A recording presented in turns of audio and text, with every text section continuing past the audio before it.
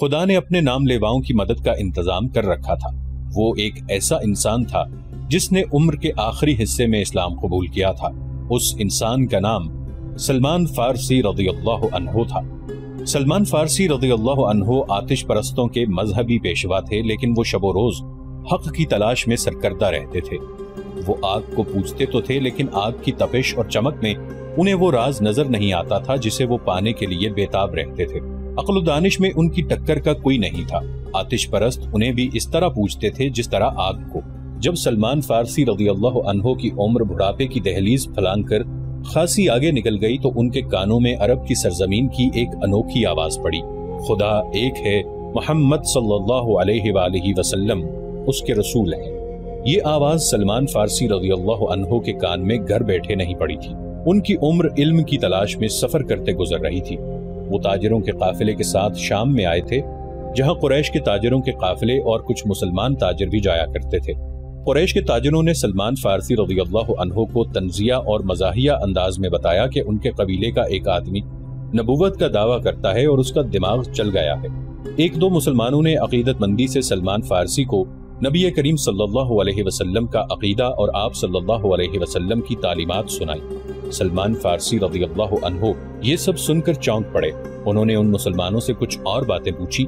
उन्हें जो मालूम था वो उन्होंने बताया, लेकिन सलमान फारसी रज़ी अल्लाह तिश्नगी महसूस कर रहे थे। वो इतना मुतासर ज़रूर हो गए थे कि उन्होंने नबी करीम सल्लल्लाहु अलैहि वसल्लम तक पहुँचने का फैसला कर लिया। कुछ अरसे बाद, सलमान फारसी रज़ी अल्लाह रसूल खुदा सल्लल्लाहु अलैहि वसल्लम के मुकद्दस साय में जा बैठे। उन्हें वो राज मिल गया जिसकी तलाश में वो मारे मारे उम्र गुजार रहे थे। उन्होंने रसूल अल्लाह सल्लल्लाहु अलैहि वसल्लम के दस्ते मुबारक पर इस्लाम कबूल कर लिया। उस वक्त तक सलमान फारसी रज़ी बुढ़ापे के आखिरी हिस्से में पहुँच चुके थे। अपने मुल्क में सलमान फारसी रज़ी सिर्फ़ मजहबी पेशवा ही न थे, वो जंगी उलूम के माहिर तस्लीम किए जाते थे। उस दौर के मजहबी पेशवा भी जंगो जदल और सिपागरी के माहिर होते थे। इल्मो अदब के आलिम भी सिपाही होते थे, लेकिन सलमान फारसी रज़ी को खुदा ने जंगो जदल के उमूर में गैर मामूली जहानत दी थी। अपने मुल्क में जब कोई लड़ाई होती थी या दुश्मन हमला अवर होता था तो सलमान फारसी रज़ी अल्लाह को बादशाह तलब करके सूरत हाल उनके आगे रखता और मशवरे लेता था। नामवर सालार भी उनके शागिर्द थे। वो सलमान फारसी रज़ी अल्लाह उस वक्त मदीना में रसूल अक्रम वसल्लम के साहब कराम रदवान में शामिल थे। रसूल अक्रम सल्लल्लाहु ने ये सूरत हाल जो कुरैश ने आप वसल्लम के लिए पैदा कर दी थी सलमान फारसी रज़ी अल्लाह के आगे रखी। खंदक खोदो जो सारे शहर को घेरे में ले ले। सलमान फारसी रज़ी अल्लाह ने कहा, रसूल करीम सल्लल्लाहु अलैहि वसल्लम और वहाँ बैठे हुए तमाम साहब कराम रज़ी अल्लाह और सालार एक दूसरे के मुँह की तरफ़ देखने लगे कि सलमान फारसी रज़ी अल्लाह ने ये क्या कह दिया है। अरब खंदक से वाकिफ नहीं थे। फारस में जंगों में खंदक का रिवाज था। सबको हैरान देखकर सलमान फारसी रज़ी अल्लाह ने बताया कि खंदक क्या होती है और इससे दिफाई काम किस तरह लिया जाता है? रसूल करीम सल्लल्लाहु अलैहि वसल्लम ने जो खुद तारीख के नामवर सालार थे, खंदक की ज़रूरत और अफादियत को समझ लिया, लेकिन आप सल्लल्लाहु अलैहि वसल्लम के दीगर सालार शशोपंज में पड़ गए। उनके लिए इतने बड़े शहर के इर्द गिर्द इतनी चौड़ी और इतनी बड़ी खंदक खोदना नाकाबिल फहम नहीं था, लेकिन उन्हें रसूल खुदा सल्लल्लाहु अलैहि वसल्लम का हुक्म मानना था। खंदक की लंबाई, चौड़ाई और गहराई का हिसाब कर लिया गया। रसूल खुदा सल्लल्लाहु अलैहि वसल्लम ने खंदक खोदने वालों की तादाद का हिसाब किया। आप सल्लल्लाहु अलैहि वसल्लम ने खुदाई का काम इस तादाद पर तकसीम किया तो 110 आदमियों के हिस्से में 40 हाथ खुदाई आई। तो रसूल खुदा सल्लल्लाहु अलैहि वसल्लम ने देखा कि लोग खंदक को अभी तक नहीं समझे और वो खुदाई से हिचकिचा रहे हैं तो आप सल्लल्लाहु अलैहि वसल्लम ने कुदाल उठाई और खुदाई शुरू कर दी। ये देखते ही मुसलमान कुदालें और बेलचे लिए नारे लगाते हुए ज़मीन का सीना चीरने लगे। उधर से उस वक्त के एक शायर हसान रदी अल्लाह बिन साबित आ गए। हसान मशहूर नात गो थे, जिन्हें रसूल अक्रम वसल्लम अक्सर अपने साथ रखा करते थे। इस मौके पर जब मुसलमान खंदक खोद रहे थे हसान रदी अल्लाह ने ऐसे अशार तरन्नम से सुनाने शुरू कर दिए कि खंदक खोदने वालों पर वजद और जुनून की कैफियत तारी हो गई। खंदक की लंबाई चंद गज नहीं थी, इसे मीलों दूर तक जाना था। शेखैन की पहाड़ी से लेकर जबल बिन उबैद तक ये खंदक खोदनी थी। ज़मीन नर्म भी थी और संगलाख भी, और ये नहायत तेज़ी से मुकम्मल करनी थी क्योंकि दुश्मन सर पर आन बैठा था। कुरैश का लश्कर इस अजीबो गरीब तरीका दिफा से बेखबर ओहद की पहाड़ी के दूसरी तरफ़ खैमाजन था। उसके पीछे यहूदियों का हाथ था। चलते चलते खालिद को अपनी आवाज़ सुनाई देने लगी। अहले कुरैश तो ठंडे पड़ गए थे। उन पर मुसलमानों की धाक बैठ गई थी। घोड़ा अपनी मर्ज़ी की चाल चला जा रहा था। मदीना अभी दूर था। खालिद को झेप सी महसूस हुई। उसके कबीले कुरैश ने उसे शर्मसार कर दिया था। उसे ये बात अच्छी नहीं लगी थी कि यहूदियों के उकसाने पर उसके कबीले के सरदार और सालार अबू सुफियान ने मदीने पर हमले का फैसला कर लिया था। लेकिन वो खुश था कि हमले का फैसला तो हुआ। इतना बड़ा लश्कर जो सरजमीन अरब पर पहली बार देखा गया था, यहूदियों ने ही जमा किया था, लेकिन खालिद इस पर भी मुतमिन था कि किसी ने भी ये काम किया हो, लश्कर तो जमा हो गया था। वो उस रोज बहुत खुश था कि इतने बड़े लश्कर को देखकर ही मदीना वाले मुसलमान भाग जाएँगे। अगर मुकाबले पर जम भी गए तो घड़ी दो घड़ी में उनका सफाया हो जाएगा। वो उस वक्त तो बहुत ही खुश था जब अहद की पहाड़ी की दूसरी तरफ़ ये लश्कर खैमाजन था, जिस सुबह हमला करना था, उस रात उस पर ऐसी हैजानी कैफियत तारी थी कि वो अच्छी तरह सो भी ना सका। उसे हर तरफ़ मुसलमानों की लाशें बिखरी हुई नज़र आ रही थी।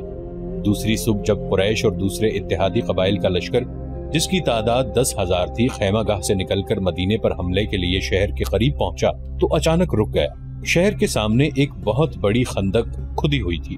अबू सुफियान, जो लश्कर के कल्ब में था, लश्कर को रुका हुआ देखकर घोड़ा सरपट दौड़ाता आगे आ गया। कुरैश के जंगजू क्यों रुक गए हैं? अबू सुफियान चिल्लाता जा रहा था।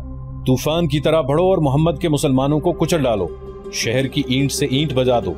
अबू सुफियान का घोड़ा जब आगे गया तो उसने घोड़े की लगाम खींच दी और उसका घोड़ा इस तरह रुक गया, जिस तरह उसके लश्कर के तमाम सवार रुके खड़े थे। उसके सामने खंदक थी, उस पर खामोशी तारी हो गई। खुदा की कसम, ये एक नई चीज़ है जो मेरी आँखें देख रही हैं। अबू सुफियान ने गुसीली आवाज़ में कहा, अरब के जंगजू खुले मैदान में लड़ा करते हैं। खालिद बिन वलीद को बुलाओ, अक्रमा और सफवान को भी बुलाओ। अबू सुफियान खंदक के किनारे किनारे घोड़ा दौड़ाता ले आया। उसे कहीं भी ऐसी जगह नज़र नहीं आ रही थी जहाँ से उसका लश्कर खंदक उबूर कर सकता। ये खंदक शेखैन की पहाड़ी से लेकर जबले बनी उबैद के ऊपर से पीछे तक चली गई थी। मदीने के मशरक में शेखैन और लावा की पहाड़ियाँ थी। ये मदीने का कुदरती दिफा था। अबू सुफियान दूर तक चला गया।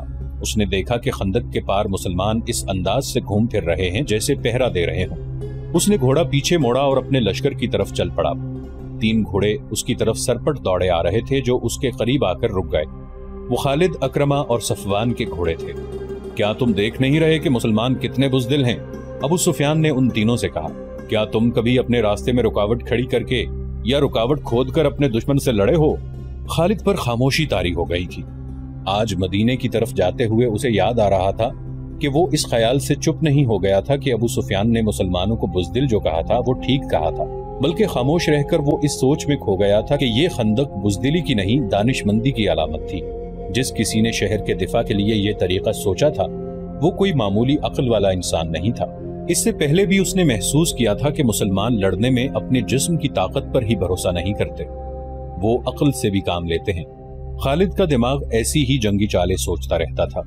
मुसलमानों ने बद्र के मैदान में नहायत थोड़ी तादाद में होते हुए कुरैश को बहुत बुरी शिकस्त दी थी। खालिद ने अकेले बैठकर इस लड़ाई का जायजा लिया। मुसलमानों की इस फतह में उसे मुसलमानों की अस्करी दानिशमंदी नज़र आई।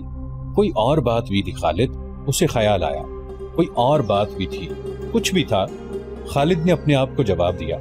जो कुछ भी था, मैं ये नहीं मानूँगा कि ये मोहम्मद सल्लल्लाहु वसल्लम के जादू का असर था, या उनके हाथ में कोई जादू है।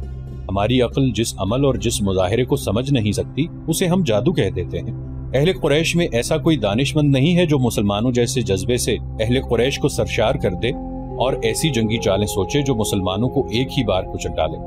खुदा की कसम, हम इसलिए वापस नहीं चले जाएँगे कि मुसलमानों ने हमारे रास्ते में खंदक खोद रखी है। अबू सुफियान खालिद अक्रमा और सफवान से कह रहा था। फिर उसने उनसे पूछा, क्या खंदक अबूर करने का कोई तरीका तुम सोच सकते हो? खालिद कोई तरीका सोचने लगा, लेकिन उसे ख्याल आया कि अगर उनके लश्कर ने खंदक अबूर कर भी ली तो मुसलमानों को शिकस्त देना आसान ना होगा। खा वो कितनी ही थोड़ी तादाद में क्यों ना हो, जिन इंसानों ने थोड़े से वक्त में ज़मीन और चट्टानों का सीना चीर डाला है, उन इंसानों को बड़े से बड़ा लश्कर भी जरा मुश्किल से ही शिकस्त दे सकेगा। क्या सोच रहे हो वलीद के बेटे? अबू सुफियान ने खालिद को गहरी सोच में खोए हुए देखकर कहा, हमारे पास सोचने का वक्त नहीं है। मुसलमान ये न समझें कि हम बौखला गए हैं। हमें तमाम तर खंदक देख लेना चाहिए। अक्रमा ने कहा कहीं ना कहीं कोई ऐसी जगह होगी जहाँ से हम खंदक अबूर कर सकेंगे। सफवान ने कहा, मुहासरा। खालिद ने खुद एतमादी से कहा, मुसलमान खंदक खोद कर अंदर बैठ गए हैं, हम मुहासरा करके बाहर बैठे रहेंगे। वो भूख से तंग आकर एक ना एक दिन खुद ही खंदक के इस तरफ़ आ जाएँगे, जिधर हम हैं। हाँ अबू सुफियान ने कहा, मुझे यही एक तरीका नज़र आता है जो मुसलमानों को बाहर आकर लड़ने पर मजबूर कर देगा। अबू सुफियान अपने उन तीनों नायब सालारों के साथ, खंदक के साथ साथ तमाम तर खंदक को देखने के लिए जबले बनी उबैद की तरफ़ चल पड़ा। सिला की पहाड़ी मदीना और जबले बनी उबैद के दरमियान वाक़ थी। मुसलमान उसके सामने मोर्चा बंद थे। अबू सुफियान ने मुसलमानों की तादाद देखी तो उसके होंठों पर तंजिया मुस्कुराहट आ गई। वो जरा आगे बढ़ा तो एक घोड़ा जो बड़ा तेज दौड़ा आ रहा था, उसके पहलू में आन रुका। सवार को अबू सुफियान बड़ी अच्छी तरह से जानता था। वो यहूदी था जो ताजरों के बहरूप में मदीने के अंदर गया था। वो मदीने से शेखैन के सिलसिला कोह से होता हुआ कुरैश के लश्कर में पहुँचा था। अंदर से कोई ऐसी खबर लाए हो जो हमारे काम आ सके? अबू सुफियान ने पूछा और कहा, हमारे साथ साथ चलो और इतना ऊँचा बोलते चलो कि मेरे ये तीनों नायब भी सुन सकें। मुसलमानों ने शहर के दिफा और आबादी के तहफ़ के जो इंतज़ाम कर रखे हैं, वो इस तरह हैं। यहूदी ने कहा ये तो तुमको मालूम ही होगा कि मदीना छोटे छोटे किलों और एक दूसरे के साथ मिली हुई बस्तियों का शहर है। मुसलमानों ने शहर की औरतों, बच्चों और ज़यीफ़ों को पीछे की तरफ़ वाले किलों में भेज दिया है। खंदक पर नज़र रखने के लिए मुसलमानों ने गश्ती पहरे का जो इंतज़ाम किया है, इसमें दो अढ़ाई सौ अफराद शामिल हैं। ये अफराद तलवारों के अलावा फेंकने वाली बर्चियों और तीर कमानों से मुसल्ला हैं। उन्होंने इलाके तकसीम कर रखे हैं, जिसमें वो सारा दिन और पूरी रात गश्त करते हैं। जहाँ कहीं से भी तुम खंदक अबूर करने की कोशिश करोगे, वहाँ मुसलमानों की खासी ज़्यादा तादाद पहुँच जाएगी और इस कदर ज़्यादा तीर और पर्चियाँ बरसाएगी कि तुम लोग पीछे को भाग आने के सिवा कुछ नहीं कर सकोगे। ये भी हो सकता है कि रातों को मुसलमानों का खेश खंदक से बाहर आकर तुम पर शब खून मारकर वापस चले जाएँ। अब्दुल्ला बिन उबई क्या कर रहा है? अबू सुफियान ने पूछा। ए कुरैश के सरदार, यहूदी जासूस ने कहा, इतनी उम्र गुजार कर भी तुम इंसानों को समझने के काबिल नहीं हो सके। अब्दुल्ला बिन उबई मुनाफिक है। मुसलमान उसे जमात मुनाफिकीन का सरदार कहते हैं और हम उसे यहूदियत का गद्दार समझते हैं। उसने मुसलमान होकर हमसे गद्दारी की थी। मुसलमानों में जाकर उसने तुम्हारे हक में उन्हें धोखे दिए। अगर अहद की जंग में तुम जीत जाते तो वो तुम्हारे साथ होता। मगर मुसलमानों का पल्ला भारी देखकर उसने तुमसे भी और यहूदियों से भी नज़रें फेर ली हैं। तुम्हें उस आदमी पर भरोसा नहीं करना चाहिए, जो किसी मज़हब का पैरोकार और वफादार ना हो। और हुई बिन अख्तब कहाँ है? अबू सुफियान ने पूछा। उसे मुहासरे का मंजर याद आने लगा।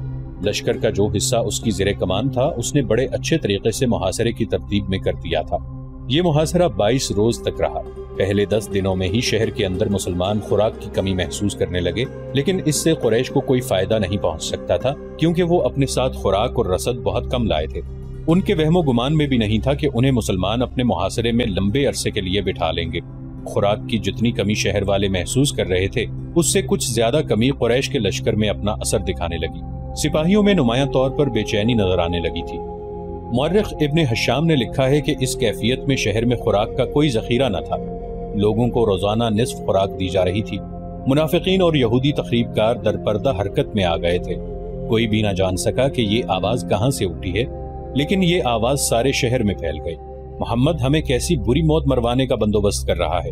एक तरफ़ वो कहता है कि बहुत जल्द कैसर किसरा के खजाने हमारे कदमों में पड़े होंगे।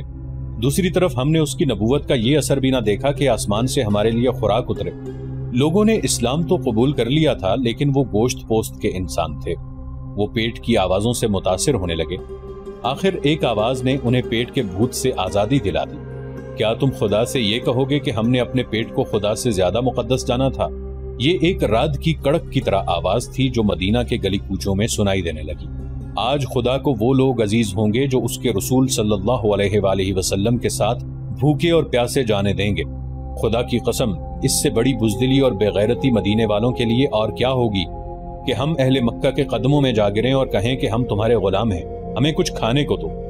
रसूल अक्रम सल्लल्लाहु वसल्लम शहर के दिफा में इस कदर सरगर्म थे कि आप सल्लल्लाहु अलैहि वसल्लम के लिए दिन और रात एक हो गए थे।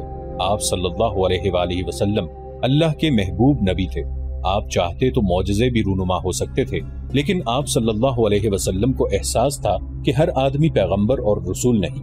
ना कोई इंसान आप सल्लल्लाहु अलैहि वसल्लम के बाद नबूवत और रिसालत का दर्जा हासिल कर सकेगा। इसलिए आप सल्लल्लाहु अलैहि वसल्लम उन इंसानों के लिए ये मिसाल कायम कर रहे थे कि इंसान अपनी इन लाजवाल जिस्मानी और नफसियाती कुतों को जो खुदाबन ताला ने उन्हें अता की हैं, इस्तकलाल और साबित कदमी से इस्तेमाल करे तो वो मोजा नुमा कारनामे अंजाम दे सकता है। मुहासरे के दौरान आप सल्लल्लाहु अलैहि वसल्लम की सरगर्मियाँ और आपकी हालत एक सालार के अलावा एक सिपाही की भी थी। आप सल्लल्लाहु अलैहि वसल्लम को इस कैफियत और इस सरगर्मी में देखकर मुसलमान भूख और प्यास को भूल गए और उनमें ऐसा जोश पैदा हो गया कि उनमें बाज खंदक के करीब चले जाते और कुरैश को बुजदिली के ताने देते। वो सात मार्च छह सौ सत्ताईस ईस्वी का दिन था, जब अबू सुफियान ने परेशान होकर कहा कि, हुई बिन अख्तब को बुलाओ।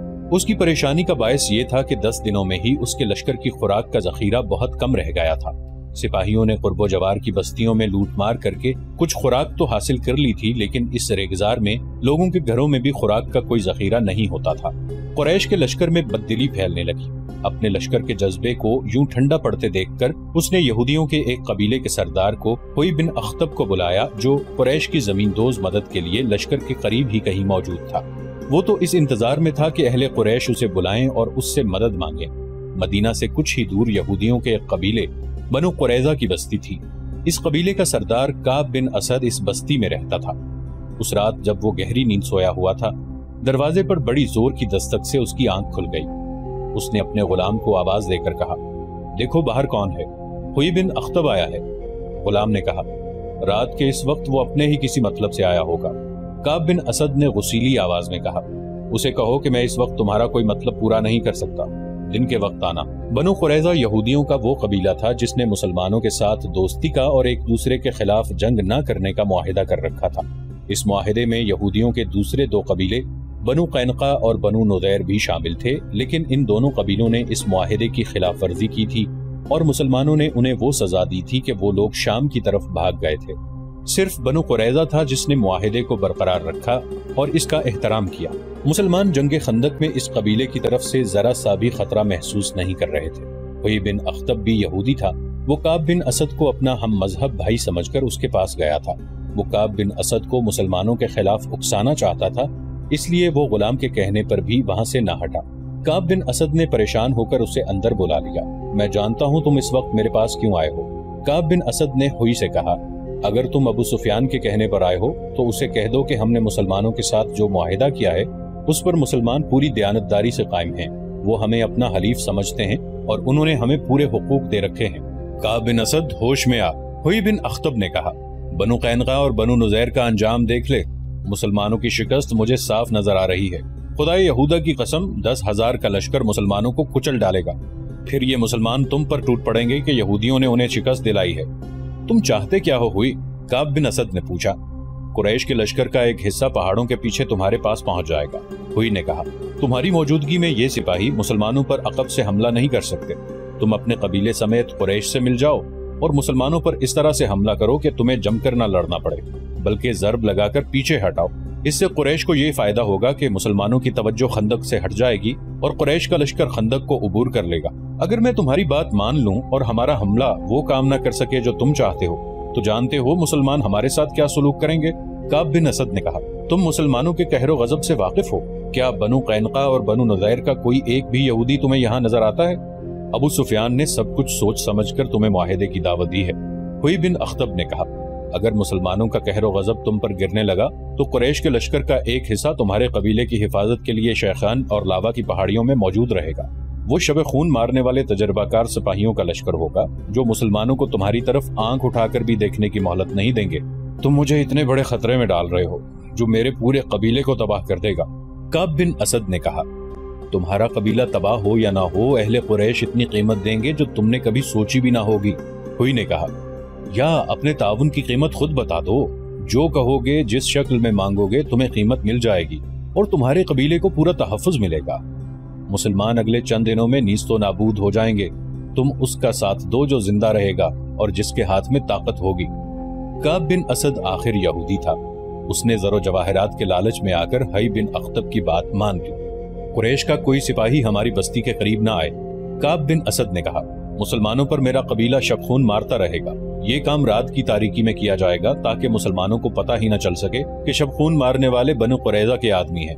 और हुई, काब ने होंठों पर हल्की सी मुस्कुराहट लाते हुए कहा, तुम देख रहे हो, मैं यहाँ अकेला पड़ा हूँ। मेरी रातें तन्हाई में गुजर रही हैं। काब ने होंठों पर हल्की सी मुस्कुराहट लाते हुए कहा, तुम देख रहे हो कि मैं यहाँ अकेला पड़ा आज की रात तनहा गुजारो, हुई ने कहा, कल तुम तनहा नहीं होगे।